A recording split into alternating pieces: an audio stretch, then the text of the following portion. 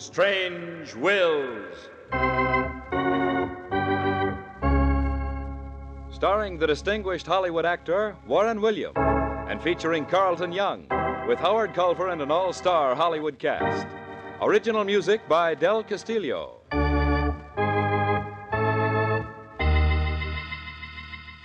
Dead men's wills are often strange. We cannot attempt to understand them or try to find the answers. We can but tell the story. This is Warren William bringing you the story Dance Director. But first,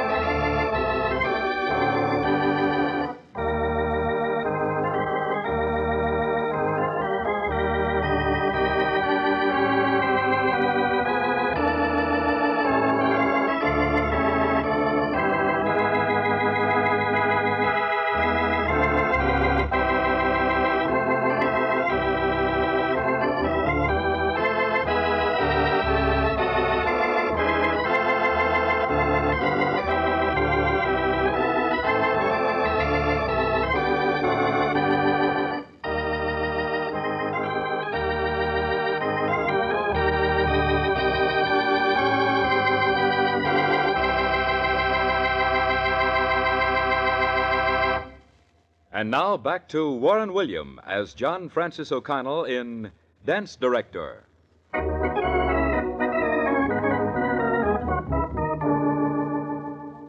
An opening night on Broadway invariably brings back a flood of memories and stories about the private lives of many of the stars whose names have written theatrical history. One name in particular, that of Margot Davis, stands out above all the rest. I knew Margot when she began her climb on Broadway. In fact, I was her father's lawyer. It was upon his suggestion that I drew his will with the provision that his only child and heir at law must first earn her own living for one year before acquiring his estate, roughly estimated at around $10 million.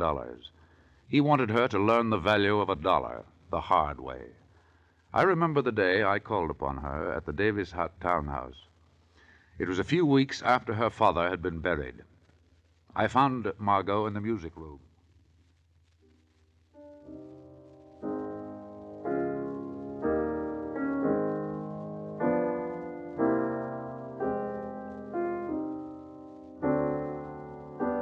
May I interrupt? Oh, John, you startled me. I'm sorry.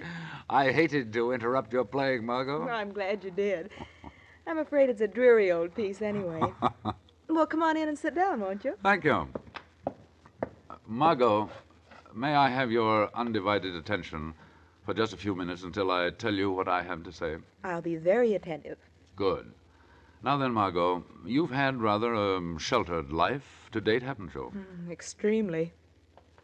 Did you uh, learn anything? well, that depends. I know which fork to use at dinner. I know how to dress, conservatively. Did you learn how to work for a living? Work? Well, quite frankly, John, I've never earned a penny in my life. But I'm not afraid of work, if that's what you mean. Your father was a hard worker, Margot. He loved it. He did more than love it. He believed in it. Just what are you getting at, John? Only this. His estate will net around $10 million. But in order to make sure that you learn the value of a dollar, he made a special provision in his last will. A special provision? What do you mean? He insisted that you earn your own living for one year before you come into your inheritance. One year? Earn my. John, that's wonderful. Wonderful. Well, of course. Do you know I've envied every girl I've ever seen catching the subway on her way to work? Envied? Why? Those girls had a look of independence about them. They were self supporting, self sufficient You mean you've wanted to work? for years, but I've never had a chance. Well, what can you do, Margot? What sort of work can you learn to keep you alive for a whole year? Did you ever hear of a yen? Yes, of course. Well, I've had a yen for almost two years. Uh-huh. I'll start looking for a job in the morning, and when I get it, you'll see a transformation you'll never forget. What will it be, Margot? Margot Davis, Broadway chorus girl.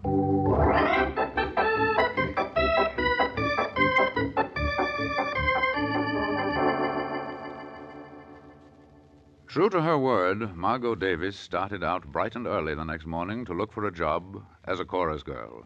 She bought a copy of Variety and read that Bert Frost, dance director of the Broadway Follies, was holding auditions. Margot caught the subway and went over to the Harris Theater. It was jammed with girls, beautiful girls, all trying out for the dancing line. All right now, chicks, line up across the stage. That's right. That's right. Spread out. Spread out. Give yourself plenty of room. Hey, uh, Blondie, Blondie, uh, you in the polka dot sunsuit. Park the gum. This is for the Follies, baby. The Follies, not Minsky's burlesque. Okay, okay, that's fine. Now listen, listen, chicks. Pete here at the piano is going to do a time step rhythm. Now, starting with the girl at the left, I want each of you to pick up the beat when your turn comes and do about four bars the time step. Do you all get it? All right then, Pete, let's have it.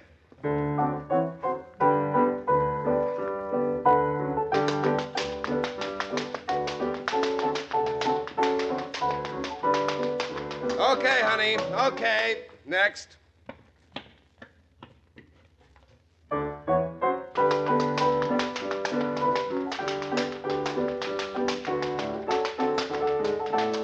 Good, good, good. Uh, what's your name? Alice Allison. All right, Alice. See me after rehearsal. Come on, next. Let's go.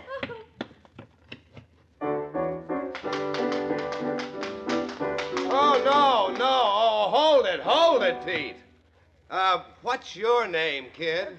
Margot. Margot Davis, Mr. Frost. Well, Margot, you've got a nice figure. Your face is cute, too. But, honey, this is a tryout for a dance line, not a kangaroo hop. okay, next girl.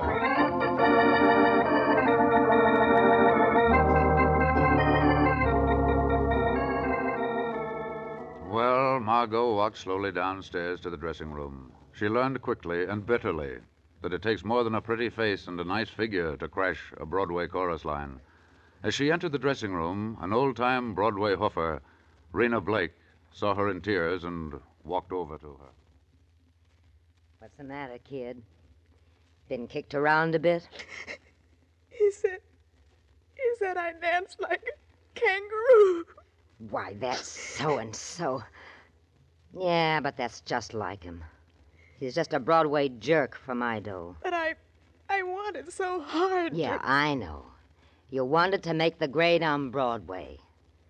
And the guy that wrote that song, There's a Million Tears for Every Light on Broadway, wasn't kidding, was he? I. I guess not. What's your name? Margot. Margot Davis. What's yours? Rena Blake, the oldest hoofer on the stem. I ain't bragging, honey, but three facelifts ago I look classier than all them dames up there rolled the one. And I can still outdance any of 'em. Oh, Rena, I feel terrible. I. I counted on this job so much. What'd that old goat say to you, honey? He said I. I had a cute face and that my figure was good, but Yeah, yeah, I know, I know. You can't do the time step. that's right. Ever danced before? Just a little for fun. Well, I say you got a lot of nerve, kid. Any girl who tries to crash a Bert Frost production and doesn't even know the time step. Oh, boy. But I didn't know it was so hard. Yeah. Well, you still want to make it? Uh huh. But, but how can I? He knows me now. He wouldn't let me try again. Listen, he's going to try out 600 babes today and tomorrow. But I still don't know how to do. It. Suppose you get into your street clothes and come with me, huh? with you, where are you? Now, don't go asking questions. But I'll tell you this. I got a little apartment over on East 54th. I got a tap board, too. Get it? You mean? I ain't promising nothing, kid. But if you're game and your feet hold out, I'm going to teach you what you need before tryouts tomorrow morning. And then you can come back and knock Mr. Bert Frost for a loop. But won't he, Mr. Frost, recognize me, Rena? Recognize you? Oh, honey, listen. With 600 pairs of gams to look at, that guy ain't to remember your face. Believe me.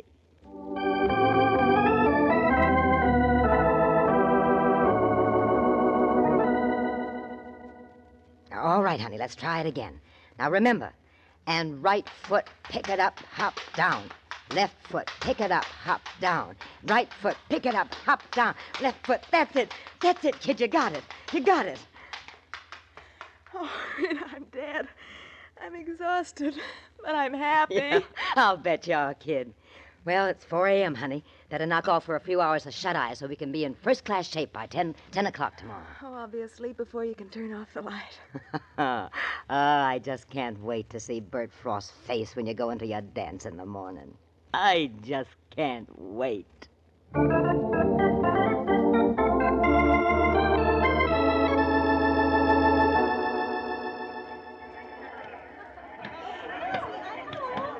right, girls. All right, line up across the stage. Now pay attention. When you get into your practice clothes, I want each of you to do a waltz clog for me this morning. Do about four bars each, okay? Okay. Why, that dirty double crosser. Walls clog, walls clog. Oh, Rena, what can I do? Wait, wait. Let's stay right here on the wings and watch. And then when your turn Yeah, comes. when my turn comes, I'll still only know the time step.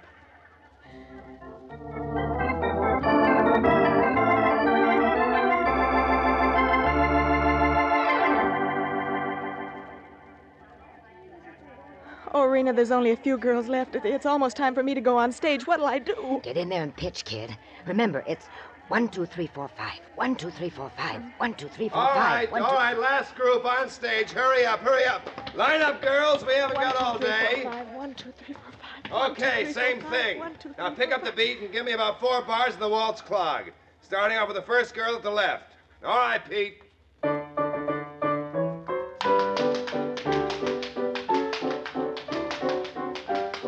That's all. That's all. Next girl.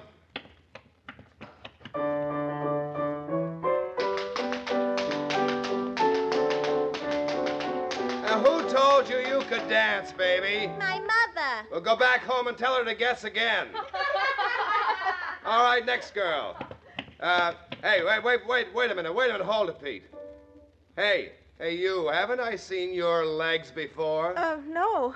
No, I don't think so. Weren't so. you here yesterday? Uh, here? yeah, right here on this stage. You couldn't do the time step, remember? Oh, no, I can do the time step. Want to see? Listen, honey, I'll bet you a job in the line against a hamburger sandwich that you can't. You will, huh? All right, turn on the music. Okay, Pete, give the little lady music.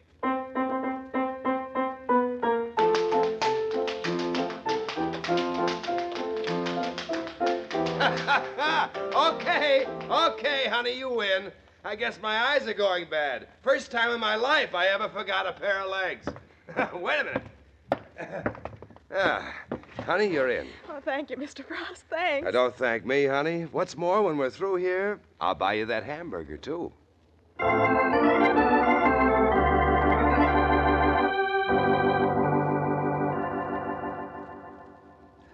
Oh, well, that's the way Margot Davis crashed her way into the Broadway Follies, the hard way.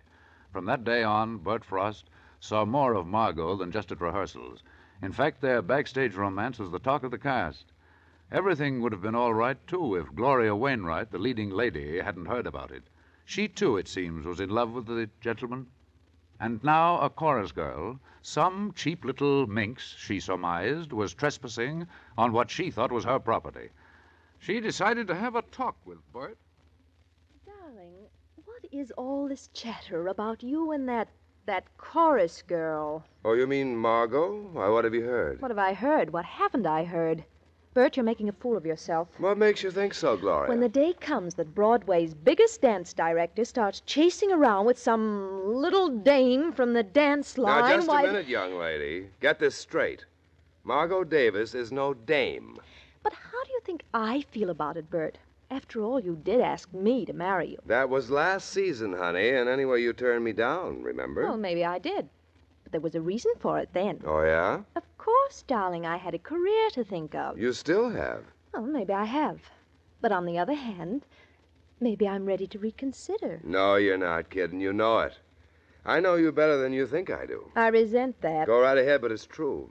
You know, Gloria, once upon a time I really thought you'd make a swell wife, a partner. Now I know better. What do you mean?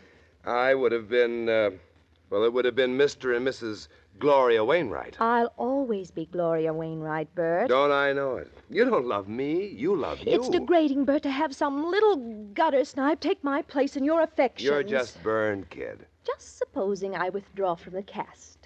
What would the great director do then? I'd have Margot Davis take your place. You don't know it yet, Gloria, but that kid's got everything you've got and maybe a little bit more. All right, have it your own way. But I'm going to tell you something. Shoot. I'll give you odds that she will never be around to open the show. What odds? Ha ha, brave, aren't you? Well, just wait until I get through with this. Now, this- supposing you stick to oh, dancing and leave the rest to me. You'll be welcome to the leavings, Bert Frost, after I get through with Margot Davis. Hang around and pick up the pieces.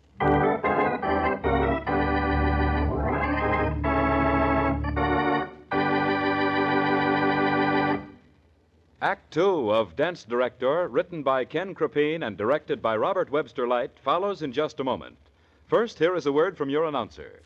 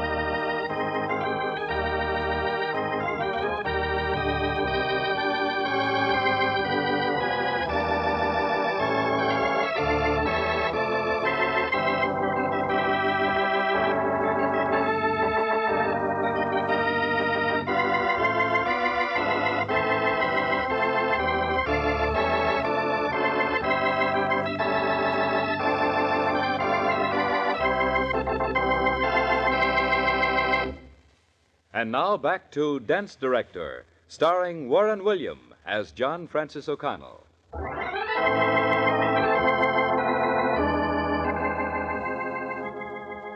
The night before the opening, Gloria Wainwright caught Margot alone in the dressing room.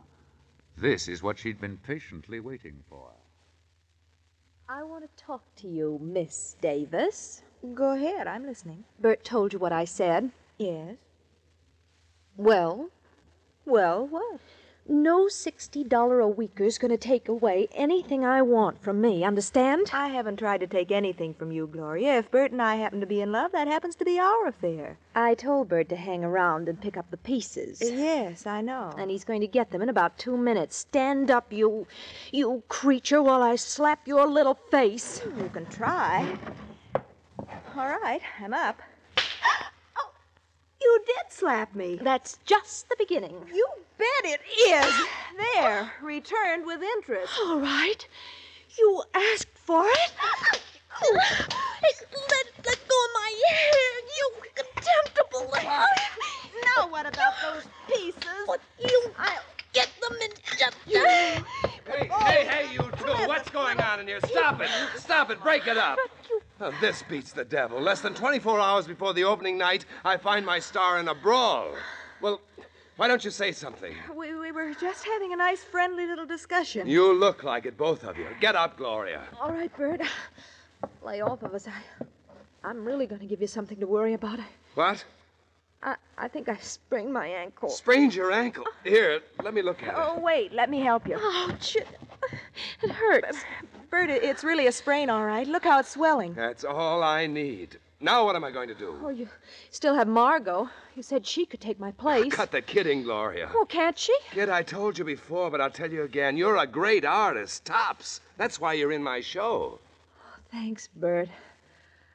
That made it worthwhile. Uh, Bert, why not let me take her up to my to my room? I'll stay with her.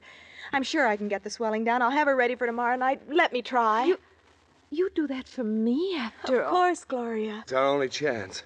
Okay, kid, go out and get a cab. Take her home, and I'll send a doctor out as soon as I can locate one. All right, Bert. I'll have a cab in a jiffy. Come on, kid. Tie up that hair, and I'll carry you. Bert, Yeah. it's things like this that make me happy I'm in the theater. Imagine a little chorus girl who has everything to gain doing this.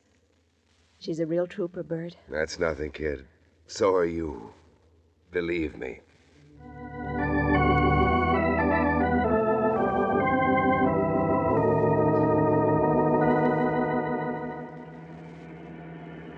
We're almost there, Gloria. Say, we're going to an elegant part of town. How'd you ever find a room out here? Oh, it isn't much of a place.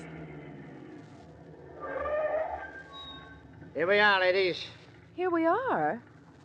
Say, what is this? We've stopped in front of a, a palace. Don't you know whose house this is, lady? It's the home of the late Dexter Davis, the multimillionaire. Dexter Davis. Davis? Well, then you're. You're Yes, Gloria. I'm Margot Davis, his daughter.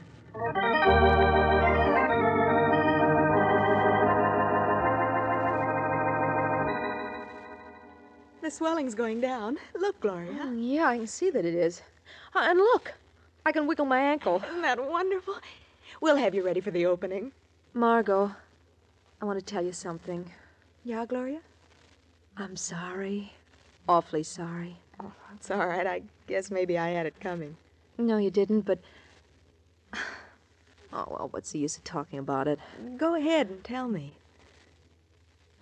I wasn't fooling when I said I loved him. Honestly. I believe you.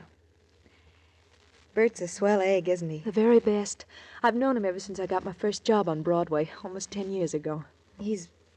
He's been wonderful to me, too. Does he know who you really are? No. To him, I'm just Margot Davis, $60 a week hoofer. And you don't want me to tell him? Oh, please don't.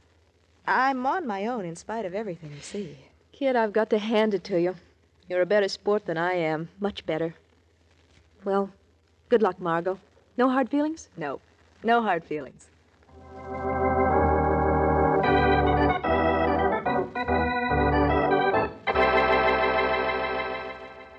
The opening night of the Broadway Follies turned out to be a wonderful thing. The show was sensational.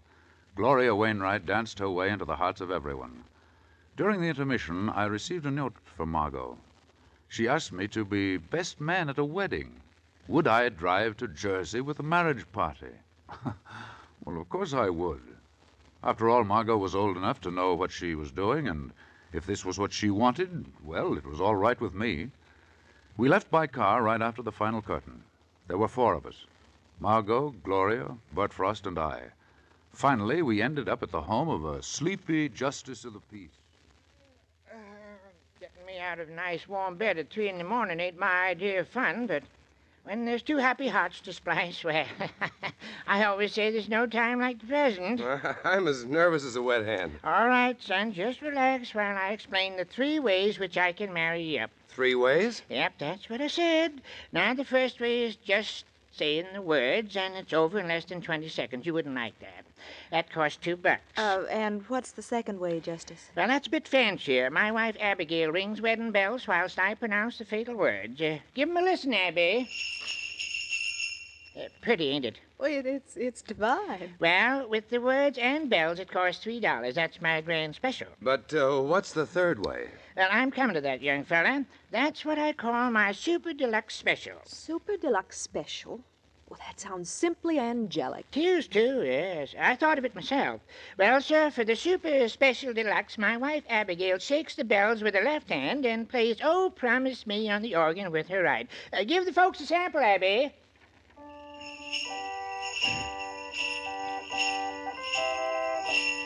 All right, folks, the super special deluxe cost a $5 bill, but you won't regret it. You'll carry the memory of it with you down the golden path.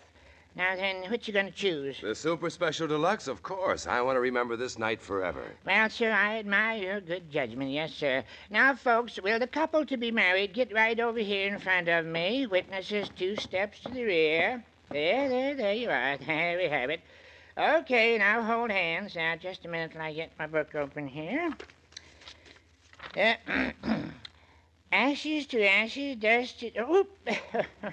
Almost read the burial service by mistake. All right, here we go.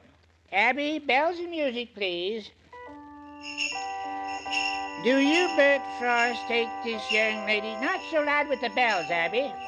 Do you, Bert Frost, take this young lady here to be your side, to be your lawful wedded wife? I do. And do you, young lady, take this man to be your lawful wedded spouse? I do, I do. Then, by the virtue of the authority vested in me by the state, I do hereby pronounce you man and wife. Not so loud, Abby. Five dollars, please. Thank you. Now, whilst you two lovebirds enjoy the first tender kiss of wedded bliss, I'll make out the certificate. I know from experience it takes about that long.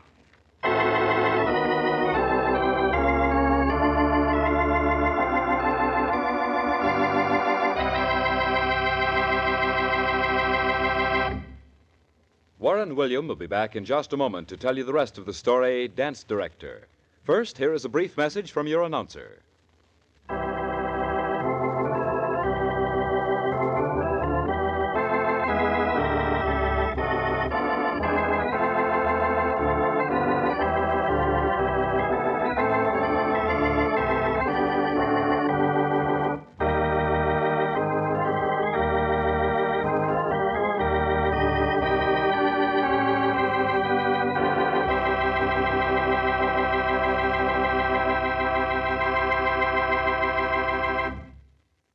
And now back to Dance Director, starring Warren William as John Francis O'Connell. Got it timed pretty well, ain't I?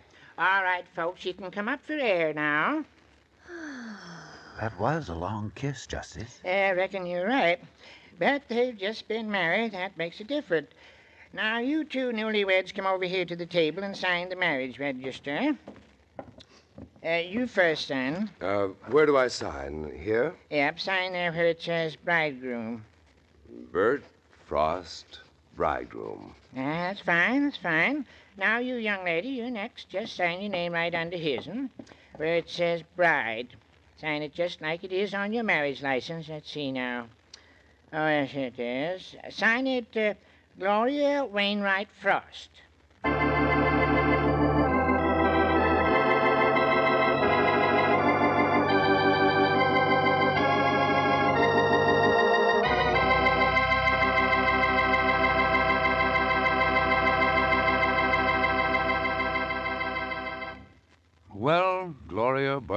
Margot have been the best of friends for years.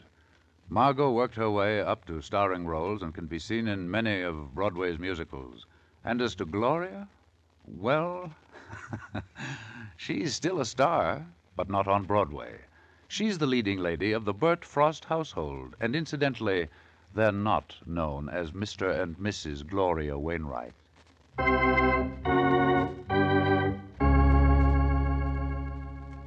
Next week, I have a story about one of the strangest wills ever written. Lefty Light, underworld gangster, was found dead in his bulletproof car on the outskirts of the city. There was no doubt in the minds of the police but that he was murdered. Before he died, Lefty found time to write a last will on a piece of newspaper. In his will, he left his entire fortune to a young and beautiful cigarette girl in an uptown nightclub.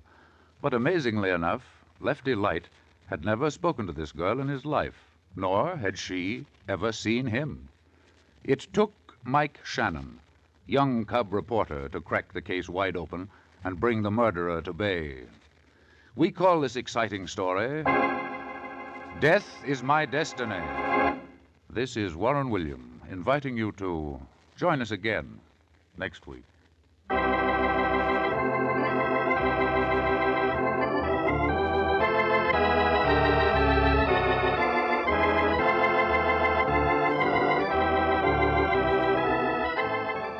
Strange Wills is a Teleways feature produced in Hollywood.